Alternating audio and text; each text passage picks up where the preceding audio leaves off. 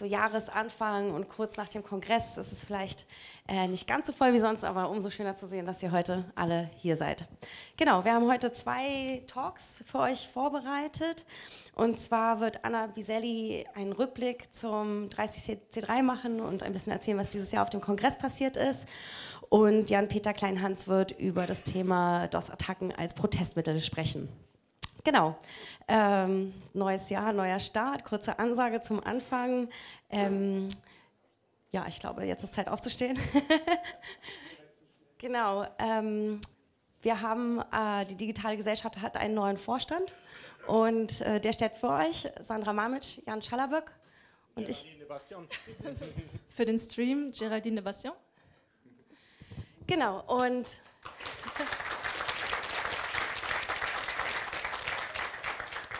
Und wir wollten uns am Anfang einfach ganz kurz zeigen und nochmal unsere Namen sagen, damit ihr alle wisst, wer wir sind. Und natürlich sind wir im Anschluss auch noch da, falls ihr uns nochmal ansprechen wollt.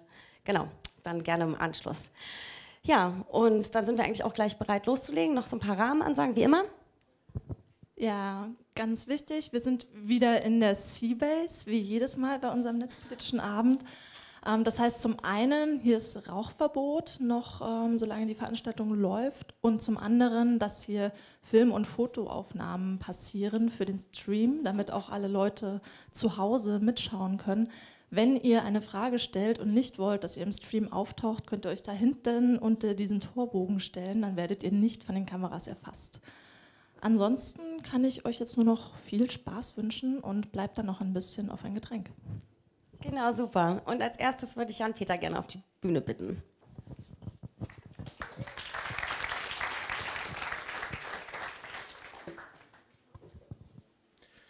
Ja, grüßt euch. Ähm, erstmal frohes neues Jahr von mir. Ah, Moment. Ah ja, genau. da sind wir schon. Ähm, ich habe mich ähm, vor einem Jahr irgendwie in DDoS-Attacken verloren, ähm, rein auf professioneller Ebene sozusagen. Ich habe mich rein wissenschaftlich damit auseinandergesetzt und habe nichts äh, Schlimmes gemacht. Und ähm, seitdem bin ich sozusagen vom Thema ähm, Internetproteste, ähm, ziviler Ungehorsam, ähm, DDoS-Attacken fasziniert, weil ich das ein sehr wichtiges und sehr spannendes Feld finde. Und ich habe mir gedacht, hey, man hat mal schon mal die Chance, so vielen netten Leuten wie euch 15 Minuten was zu, zu sagen. Ähm, insofern geht es heute bei mir um zivilen Ungehorsam im Internet. Und da fragt man sich natürlich zuerst, was ist ziviler Ungehorsam? Ziviler Ungehorsam, wenn wir mal zurückdenken oder blicken, erinnert sich vielleicht aus dem Schulunterricht der eine oder andere an diese vier Studenten. Das sind die Greensboro Four. Ähm, das waren vier afroamerikanische Studenten, die in Amerika gegen die Rassentrennung protestiert haben. Wie haben sie das gemacht? Sie haben sich einfach in einen Diners gesetzt, also in ein Restaurant gesetzt, und zwar dort auf die Plätze, die eigentlich nur für die äh, weiße Bevölkerung bestimmt waren. Und haben allein durch das Hinsetzen auf diese Sitzplätze ihren Protest ähm, kundgegeben. Ansonsten haben die nichts weiter gemacht. Also sie sind da einfach den ganzen Tag sitzen geblieben, haben somit das ähm, Gesetz gebrochen und haben somit allen umliegenden ähm, Ortschaften sozusagen oder allen anderen Gästen gezeigt, wir finden dieses Gesetz schlimm, wir finden dieses Gesetz, schle äh, Gesetz schlecht, wir wollen dagegen was ändern. Das war sozusagen der Grundstein für die ähm, Bürgerrechtsbewegung und gegen, das, äh, gegen die Rassentrennung ähm, in den USA. Danach, wie ihr alle sicherlich wisst, wurde es eine riesige Bewegung und schon drei bis vier Jahre danach, also nach diesen ersten Protesten, ähm, wurde in Amerika der ähm, Civil Rights Act verabschiedet, der die Rassentrennung aufge aufgehoben hat. In den 60er Jahren hat es dann auch angefangen, dass natürlich, wie so, wie so oft, immer ein bisschen zeitversetzt die Wissenschaft sich mit dem Thema auseinandergesetzt hat. Und da gab es dann Philosophen, Rechtswissenschaftler, Juristen, ähm, Soziologen, die alle dieses Thema, oh, das ist irgendwie eine andere Art von Protest ganz toll fanden. Und da gab es dann natürlich, wie das Wissenschaftler so gerne machen, Formaldefinitionen. Also was ist denn ziviler Ungehorsam? Und da hat jetzt zum Beispiel ähm, Carl Cohen 66 gesagt, ziviler Ungehorsam ist ein öffentlicher, illegaler, ähm, Nonviolent, also ähm, nicht gewalttätiger Protest. Und wenn man sich das so überlegt, das passt auch ziemlich gut auf die Greensboro vor. Also es war öffentlich, weil jeder konnte sehen, dass die ähm, vier Studenten dort sitzen. Es war friedlich, weil sie haben niemanden angegriffen, sie haben keine Steine geworfen, sie haben nichts gemacht, sie saßen da einfach nur. Ähm, es war aber illegal, also sie haben ein Gesetz gebrochen, weil sie durften da eigentlich nicht sitzen. Jetzt, wie das mit Gesellschaften so ist, wir haben uns halt weiterentwickelt. Also wir sind halt nicht stehen geblieben, sondern wir haben dann diese, diese Idee des zivilen Ungehorsam, haben wir über die Jahrzehnte hinweg weitergetragen. Und auf einmal ging es nicht um ein spezielles Gesetz, sondern wie jetzt zum Beispiel hier ähm, bei den Protesten in Seattle ähm, gegen die World Trade Organization, ähm, ging es überhaupt nicht um eine spezielle Sache, sondern es ging im Großen und Ganzen beim Global Justice Movement ähm, um äh, kooperatistische Globalisierung, also die Global Globalisierung nur zugunsten von ähm, kapitalistischen Unternehmen, gegen die protestiert wurde. Dann die waren manche Proteste nicht öffentlich. Also hier sehen wir ähm, einen Hund, der aus ähm, einer Tierforschungsklinik befreit wird. Wenn die Tierschützer vorher angekündigt hätten, also nächsten Donnerstag befreien wir eure Hunde, dann wäre der ganze Protest ein bisschen sinnfrei gewesen, weil dann hätten sie es nicht machen können. Also damit der Protest gelingt, musste er an dieser Stelle nicht öffentlich sein. Später sind sie aber dann an die Medien gegangen. Dann ist das Thema gewaltfrei. Ähm, das ist ein ähm, tibetischer Mönch, der so stark gegen, ähm, gegen China und das chinesische, die chinesische Regierung und die, für die Freiheit ähm, Tibets empfindet, dass er sich selbst in Brand gesetzt hat und allein dadurch seinen Protest verkundet. Er ist nicht gewalttätig gegenüber anderen Menschen, aber er ist gewalttätig gegen sich selbst, äh, sich selbst gegenüber. Das heißt, was ist hiervon zu halten?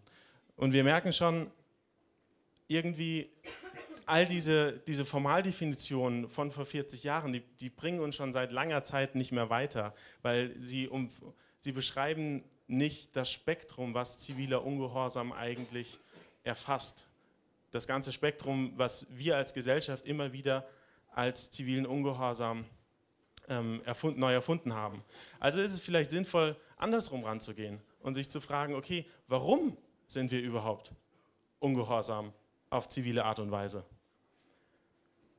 Und da gibt es zwei Dinge. Zum einen gibt es natürlich den Protest. Man, ist, man sieht einen Missstand, man fühlt einen Missstand, man empfindet, dass ein Gesetz oder ein Unternehmen die eigenen Vorstellungen ähm, missachtet und man möchte dagegen protestieren. Man möchte seinem Ärger Luft machen, man möchte seinem Frust Luft machen. Das ist sozusagen zurückblickend. Und vorausblickend ist natürlich auch ein Ziel der Wandel. Man möchte nämlich, dass sich etwas ändert.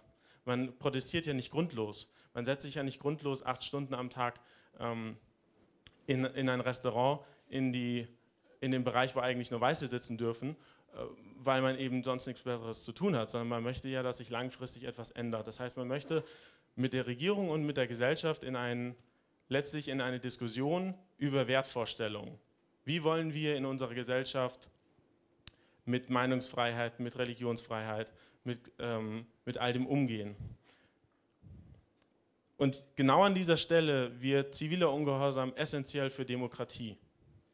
Weil genau diese Möglichkeit, dass eine Minderheit von Menschen der Mehrheit, die vorher für dieses Thema überhaupt nicht sensibilisiert war, zeigen kann, wie stark sie darüber empfinden, ist ganz essentiell. Also dass eine kleine Schar von Tierschützern zeigen kann, wie wichtig ihnen der Tierschutz eben ist ist ganz essentiell für eine Demokratie, weil ansonsten die Masse überhaupt nicht sehen kann, was wichtige Themen für jeden Einzelnen sind.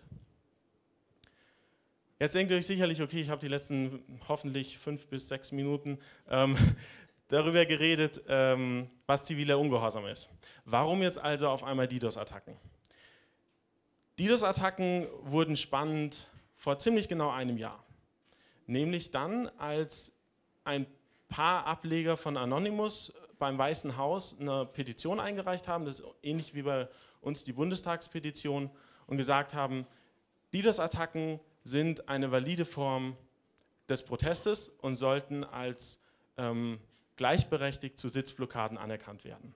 Die Petition ist ziemlich kläglich ähm, im Sande versiegt mit ähm, 3.000 bis 4.000 Stimmen.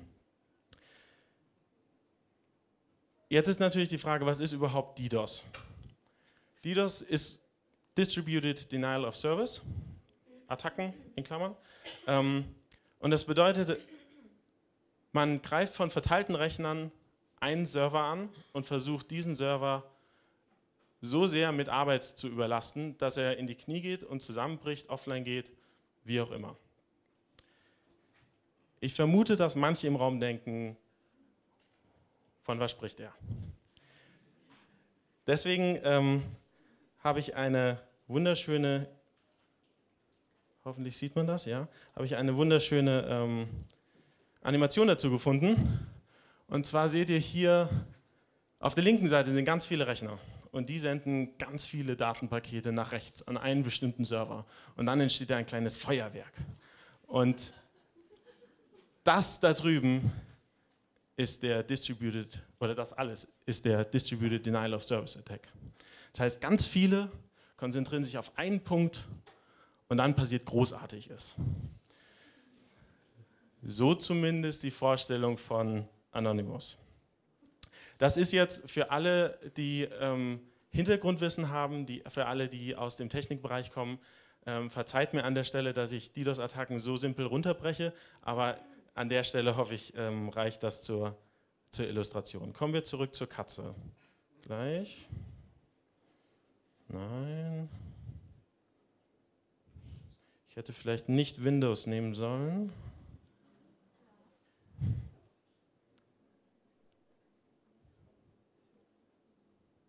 Das sieht gut aus.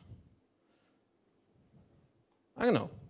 Ähm, das Problem bei DDoS-Attacken, wenn man sie als Äquivalent zum, zu Sitzblockaden im Internet sieht. Und das ist die Argumentation von vielen ähm, Hackern oder von Anonymous an der Stelle. Für eine Sitzblockade braucht man viele Menschen, die setzen sich vor einen Eingang, blockieren den Eingang damit. Für eine DDoS-Attacke brauchen wir ganz viele Rechner, wir brauchen viele, die mitmachen und dann blockieren wir diesen Webserver. Die Analogie ist ziemlich eindeutig. Es gibt allerdings zwei Probleme.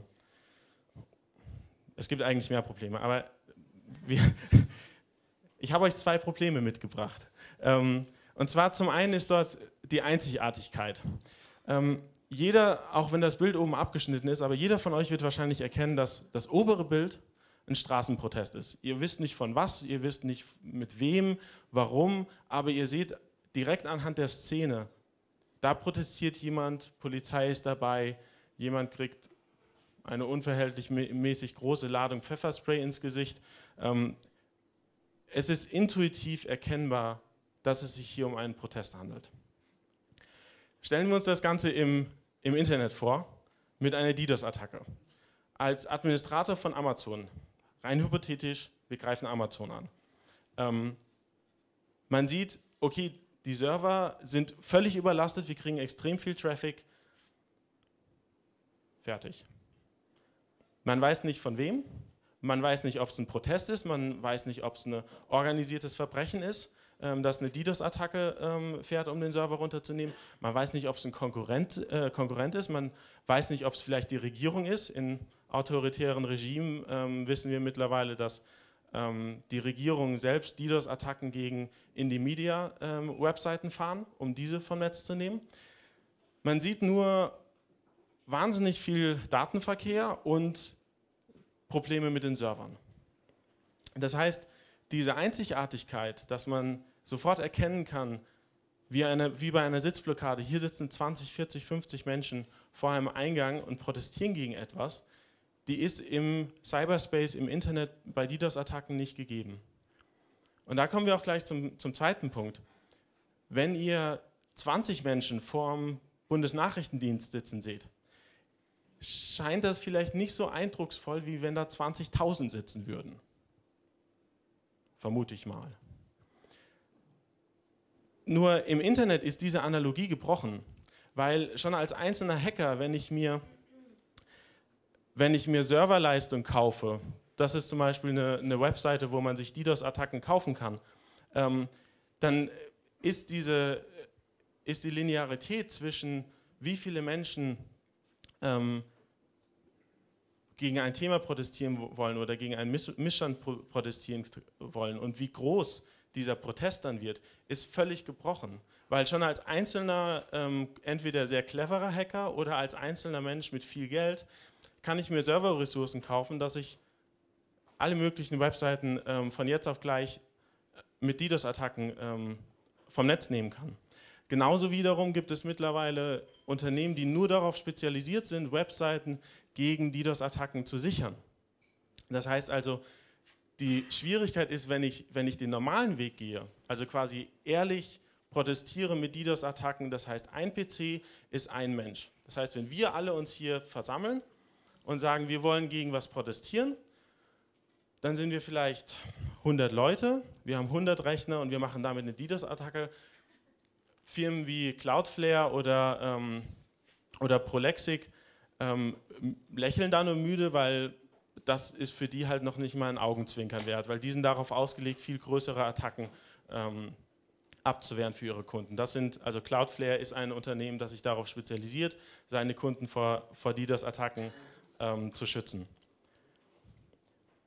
Wie ihr seht, wir haben hier ein paar Probleme mit dem direkten Übertragen von Sitzblockaden sind zivile Ungehorsam, DDoS-Attacken sind zivile Ungehorsam in, im Internet.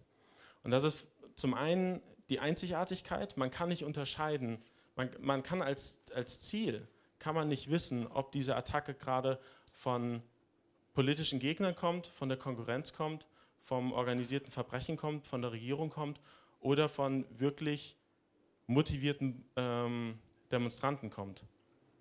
Wir haben das Problem mit der individuellen Präsenz.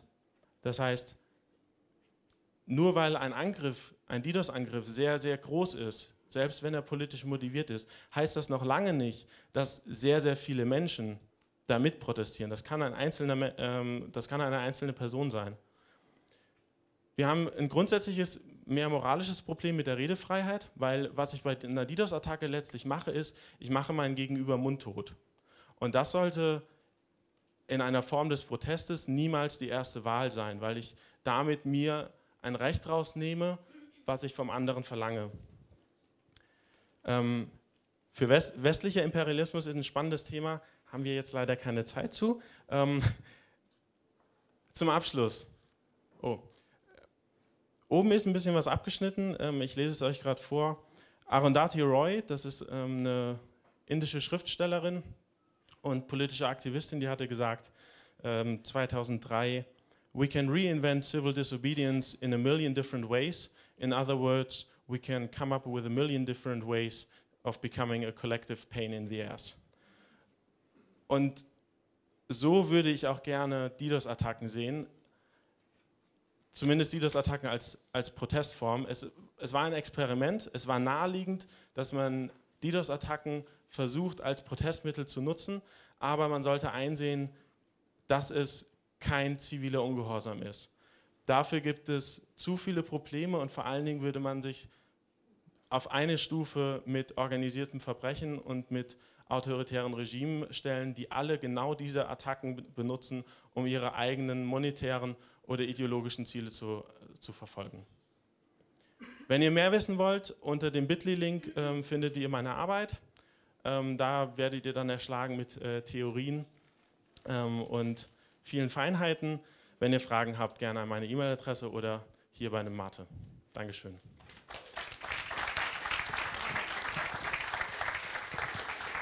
Nee, nee, bleib mal hier. Ich glaube, es wird bestimmt oh. Fragen geben oder zumindest Kommentare. Wir wollen uns auf jeden Fall so zehn Minuten mindestens Zeit lassen, ähm, falls ihr welche habt. Ähm, ich fand es einen sehr spannenden Vortrag und ich bin auch ganz gespannt, ob es nicht Gegenstimmen gibt zu dem, was du gerade als letztes ähm, so als Schlussthese sozusagen aufgestellt hast. Ähm, ich habe mich das letzte Mal in dem Thema in einem anderen Jahrhundert beschäftigt, wo wir uns viel Gedanken darüber gemacht haben, wie kann man ähm, analoge Protestformen in die digitale Welt übersetzen und ist es nicht eben legitim, sowas wie eine Demonstration auch digital zu denken. Damals hat es aber tatsächlich gereicht, wenn ein paar 100 bzw. ein paar tausend Leute eine manuelle äh, DOS-Attacke durchgeführt ja. haben, um eine Website wie die der Lufthansa lahmzulegen. Das ist natürlich heute nicht mehr der Fall. Also diese Legitimitätsproblematik, die du angesprochen hast, ist es nicht auch legitim, andere technische Mittel zu nutzen, um den gleichen Effekt herzustellen? Genau. Würde ich auf jeden Fall nochmal ein Fragezeichen hintermachen. Gibt es Fragen und Kommentare? Äh, ja, erstmal danke für den Vortrag. Äh, ich hätte gerne am Anfang ein Meinungsbild. Ähm, erstens, äh, wer sieht das ähnlich, dass DDoS-Attacken kein geeignetes Mittel sind zum Widerstand oder als ziviler Ungehorsam? Okay, mit anderen Worten, die Reverse, äh, sie sehen es anders. Ich wollte noch mal auf die vier Punkte eingehen, weil äh, mhm. als erstes hattest du äh, geschrieben, äh, es ist sozusagen Einzigartigkeit. Da hätte ich schon die Solution. Wenn Open Data City und äh, Michael uns einfach ein Tool baut, wo wir uns vorher eintragen und sagen, wir machen gleich beim DDoS mit, wir sind hier, wir sind für das Thema, dann wissen die genau, warum wir äh, vielleicht pingen oder was auch immer. individuelle Präsenz ich glaube, es hat immer was mit dem Hebel zu tun, was man irgendwo mit erreichen möchte. Wenn du eine Sitzblockade alleine vom Bundeskanzleramt machst, hast du nicht viel Impact. Äh, wenn du alleine vielleicht auf der Hauptverkehrsstraße dich hinsetzt, hast du auch dort alleine einen gewissen Impact. Also äh, wenn man dieses Beispiel mit den äh, vier Farbigen sich ansieht, es gab auch diese bekannte Farbige, die sich vorne in den Bus gesetzt hat, die war auch alleine und hat auch alleine Großes bewirkt. Darum weiß ich nicht genau, ob das da zählt. Äh, ja, Redefreiheit, wie gesagt, wenn man sagt, man macht die Kommunikationsinfrastrukturen äh, des anderen kaputt, ja, gegebenenfalls könnte man sich darauf einigen, dass man dort, wo die dann ihre PR-Abteilung sozusagen eine Meldung machen kann, eben nicht angreift, aber die anderen Systeme. Äh, und bei westlichem Imperialismus, ja, du hast recht, ähm, es ist eine Art von Angriff, aber vielleicht ist es dann kein ziviler Ungehorsam, sondern bewaffneter Widerstand, den wir vielleicht manchmal machen müssen. Ähm, du hast, du hast ab, absolut recht, dass keins von den, oder sagen wir so rum, da, es ist ein schwieriges Feld insofern, als dass man sehr viele Beispiele findet, wo DDoS, oder ein paar Beispiele findet, wo DDoS-Attacken ähm, sehr, sehr nah an zivilen Ungehorsam für meine Begriffe rankommen. Zum Beispiel ähm, Lufthansa, genauso ähm, die Attacken 1999 ähm, in Koordination mit den Protesten vom World, vor der World Trade Organization in Seattle. Nur die Schwierigkeit ist ja, auf welche Ebene begibt man sich und vor allen Dingen, welches Ziel verfolgt man. Und wenn man, deswegen hatte ich auch versucht, das herauszuarbeiten, wenn das Ziel ist, dass man mit der Bevölkerung und mit der Regierung in eine Wertediskussion eintritt, um langfristig Änderungen herbeizuführen, dann muss man natürlich automatisch ähm, zu einem Weg greifen, auf dem man gehört wird. Und wenn man sich die, quasi das Ökosystem DDoS-Attacken anguckt, dann muss man eben einfach sehen, dass die finanziell motivierten DDoS-Attacken, die DDoS-Attacken vom ähm, organisierten Verbrechen und die DDoS-Attacken durch autoritäre Regime sowohl an Bandbreite als auch an Häufigkeit als auch an Effektivität alles sprengen, was bisher durch ähm, Anonymous, durch Elektro-Hippies, durch ähm, Electronic Disturbance Theater von wem auch immer, also alle politisch motivierten Aktionen, weit, weit hinter sich lassen. Und wenn ich als, als Amazon oder als ähm, Mediamarkt oder ich will nicht immer nur dieselben Unternehmen nennen, aber wenn ich mich als Unternehmen gegen DDoS-Attacken wappne, zum Beispiel mit Cloudflare, zum Beispiel mit, ähm, mit Prolexic, dann haben, hat politischer Protest auf diesem Level keine Chance mehr, weil er, weil er damit quasi mit fairen Mitteln, eine Person ist ein Rechner, ähm, nicht mehr zurande kommt. Und da sehe ich das Problem. Ich, ich denke, zivile Ungehorsam ist unglaublich wichtig im Internet. Ich glaube nur, dass DDoS-Attacken der falsche Weg waren. Ähm, ja, erstmal danke für den Vortrag. Mich würde zum einen interessieren, ähm, aus welcher fachlichen Richtung du kommst und äh, ja, woher du eigentlich äh, so diese Perspektive entwickelt hast. Und zum anderen würde mich interessieren, weil ich äh, über zivilen Ungehorsam im Internet promoviere.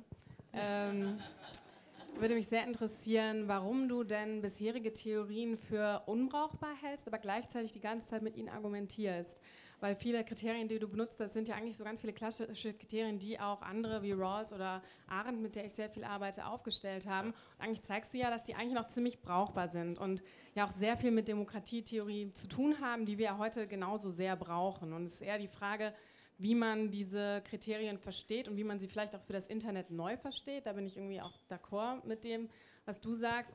Aber ich glaube, ähm, dass man es sich nicht so leicht machen kann zu sagen, ja, alles, was wir bisher zu zivilem Ungehorsam gedacht haben, ist unbrauchbar, sondern ich finde gerade diesen Diskurs wichtig, dass wir nochmal überlegen, was wollen wir eigentlich darunter verstehen und dann nochmal gucken, welche Taktiken denn dazu passen. Und ich finde es sehr schade, dass diese Debatte immer reduziert wird auf, ist DDoS-Aktion ziviler Ungehorsam oder eben nicht, weil es gibt sehr viele andere Möglichkeiten und äh, auch sehr viele andere Praktiken, die mittlerweile schon als ziviler Ungehorsam im Internet praktiziert werden können, die genauso sehr diskussionswürdig sind. Also ja, wo wir uns genau dasselbe fragen müssen, was wollen wir in einer Demokratie? Ja.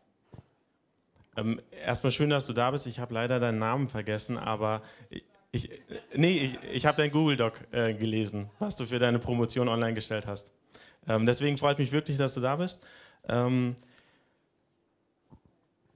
und du hast natürlich recht. Ähm, es wäre falsch, wenn, wenn rüberkam, dass ähm, das zivile Ungehorsam, die Theorien zu, zu zivilem Ungehorsam heute alle nicht mehr gelten, weil genau, genau das, ähm, genau darum geht es mir nicht. Sondern wenn man dem, dem Geist des zivilen Ungehorsams treu sein will im Internet, dann muss man einsehen, oder dann kann man sehr leicht zu dem Schluss kommen, dass, diese, dass DDoS-Attacken diesem, diesem Gedanken von zivilem Ungehorsam nicht treu geblieben sind und dass, dass sie ihn nicht erhalten. Ähm, zu, den, zu meinem Hintergrund, ähm, ich habe erst ähm, in Darmstadt Wirtschaftsinformatik ähm, als Bachelor äh, gemacht und dann habe dann Soziologie ähm, in Schweden draufgesetzt und kam dadurch eben in, in Kontakt mit ähm, Internetgesellschaft, DDoS-Attacken, ziviler Ungehorsam. Ähm, ja, mir schwirren gerade ganz viele äh, Gedanken im Kopf rum. Wenn du Lust hast, können wir uns gerne danach unterhalten. Aber ich glaube, wenn ich, wenn ich jetzt mit, mit Rawls und Brownlee anfange, dann ähm, gibt es hier einige böse Gesichter. Danke. Genau, ich habe noch eine Frage. Erstmal vielen Dank für die, ähm, für die Vorfragerin. Ähm, ich werde es auch ganz kurz halten. Ähm, mein Eindruck war der, dass äh, vielleicht ganz wichtig ist, ähm, die, die, Analogie auch ein bisschen klar zu ziehen. Ähm, bei den Beispielen, die du gebracht hast, ähm, ging es ja nicht darum, das einfach nur ein Mittel, also irgendwie eine Blockade zu machen oder sich in den Bus zu setzen, sondern dieses Mittel war ähm, ganz genau entgegen dem, was unterdrückt hat. Also sich vorne in den Bus zu setzen, war nicht einfach nur vorne in den Bus setzen, sondern vorne in den Bus setzen, weil das nicht erlaubt war und weil genau das die Ungerechtigkeit war. Sich in die Diner zu setzen, war eben genau, weil es nicht erlaubt war die Analogie für, eine, für die Frage, und deswegen habe ich auch vorhin nicht gesagt, ich finde, das ist äh, angemessen oder nicht angemessen, eine DDoS-Attacke zu machen, weil die Analogie, die Frage ist doch, wann ist es angemessen und wann ist es nicht angemessen? Also in welchem, in welchem Zusammenhang, wo werden wir zum Beispiel unterdrückt oder wo besteht eine Ungerechtigkeit, die durch das Netz, in dem Netz in einer Art und Weise passiert, wo eine DDoS-Attacke ein, ähm, ein legitimes und gerechtfertigtes Mittel ist. Also das ist, glaube ich, die wichtige Frage, die wir uns stellen müssen. Das ist im Prinzip auch die Frage, die Rawls und so weiter und so fort stellen. Ähm, und so muss, glaube ich, die Frage gestellt werden ähm, und nicht zu sagen nur Ja oder Nein. Sehe seh ich genauso. Ähm, ich denke, man muss langfristig auf jeden Fall davon wegkommen, bei, sei es jetzt eine DDoS-Attacke, sei es jetzt andere Methodiken, die eingesetzt werden, dass man wegkommt, die Technik zu beurteilen und hinkommt, dahin kommt, den, den Nutzen dieser Technik oder die Methodik unter der diese Technik verwendet wird, zu beurteilen. Letztlich, wie man es wie eben auch im, im sonstigen Leben macht. Absolut. Dankeschön. Ja, dann danke für die Fragen, danke für die Antworten.